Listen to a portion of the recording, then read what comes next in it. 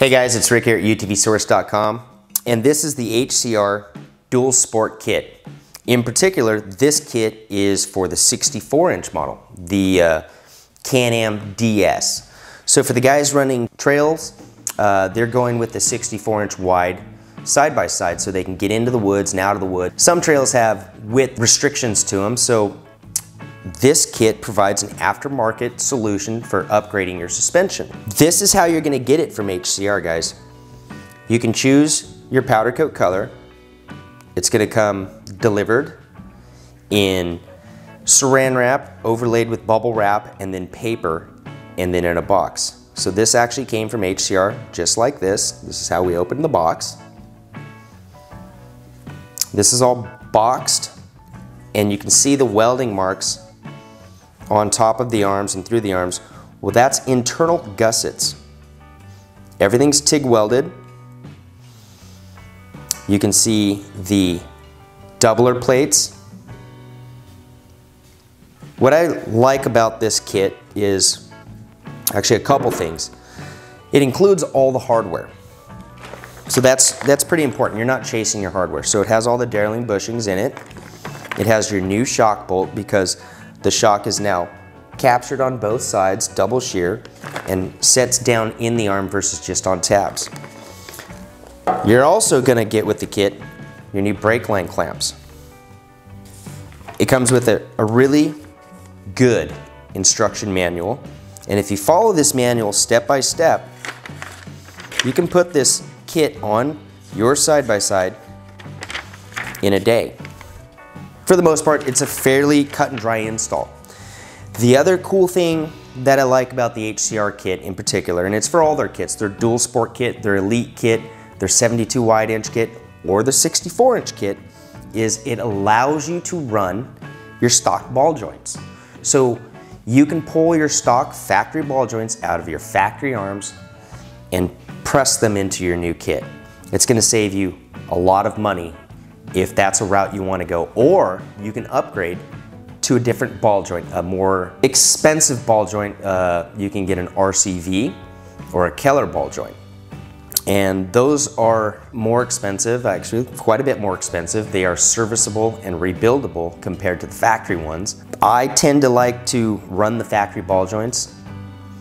In every build, you need a weak link. I would rather break a ball joint than break an arm or break a sway bar or something that's a little bit more expensive. So in all of my personal cars, I always carry a, you know, a ball joint or two, a tie rod, extra belts, and when I go into Mexico, an axle and a spindle. This kit's pretty cool. You can be out riding on the weekend, break a ball joint, and have a new part in a matter of days. Any OEM manufacturer is gonna carry that ball joint. Pretty easy to get. It goes together very, very well. Uh, some quick tips when you're assembling one of these HCR kits. Get a little bit of grease, CV grease.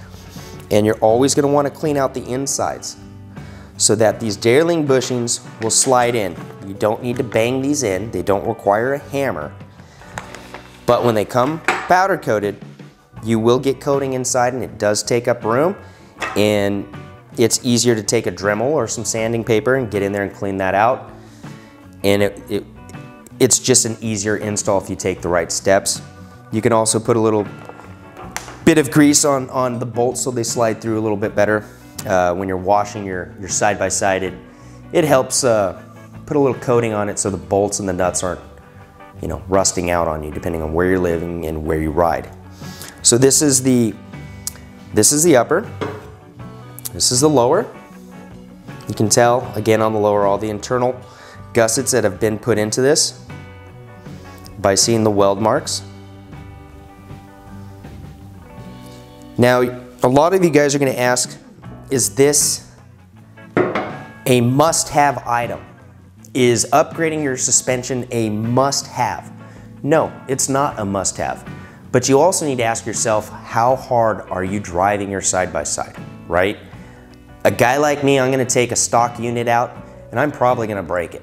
Um, it's just the way it is, that's how I drive. I've been in the industry a little bit longer than most and I'm a little bit harder on things. So for me, on certain models, in particular the Can-Am, seems to have a higher fail point on its arms compared to a Polaris. Um, just so you guys know, uh, they're both great cars.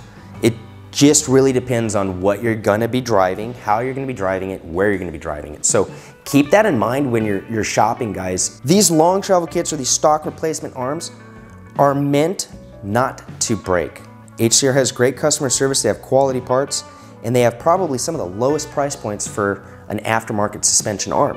Again, easy to install, budget friendly, stock ball joints, save you money, and you get to choose your powder coat or you can upgrade your powder coat. You can also order them raw and do your own thing to them as well. So lots of options with the HCR kit. I think bang for the buck on the Can-Am, it's, it is a must-have. At some point, you're gonna bend a radius rod, you're gonna bend a trailing arm, you're gonna bend your arms. And if you're upgrading your tires and your wheels and you're going to a bigger tire, heavier wheel, more leverage out there, you're gonna bend something. So preventative, yes. Do you need it? You don't necessarily need it until you break it. But when you break it, you're probably gonna take something else out. So that becomes the preventative side. Guys, this is the HCR kit. Again, it comes in a 64 inch or 72. Polaris, Can-Am, they have it all. Honda, Talon, I believe they have it for the, the Kawasaki that's out now too. I've seen it, they all look great. They all have the same construction. It's a great company to deal with. And again, it's budget friendly for the parts that you're getting and the craftsmanship that goes into it and the time it takes to make parts like this, it's a great value. So hope you guys keep following us on the YouTube channel, UTV Source, on Instagram at UTV Source, follow the stories, subscribe on the email list, that's awesome. That's, that's about it, man. This is a bitchin' kit. And uh, I really, I really dig it. I've put a lot of hard miles on HCR kits. And, you know, knock on wood, I haven't broken one yet. So there you go, guys. We'll see you on the next run.